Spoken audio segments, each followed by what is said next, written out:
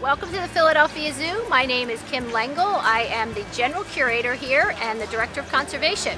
I'm happy to invite you to the zoo today to experience what is our baby boom. In our kangaroo mob, in their brand new exhibit, we have four youngsters that were all born and emerged from the pouch in 2010.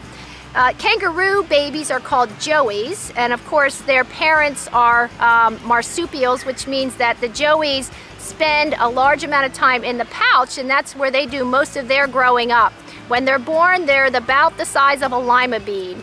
All of the kangaroo joeys that we have are fully independent from their moms now, but they do spend a lot of time playing together and interacting with their parents.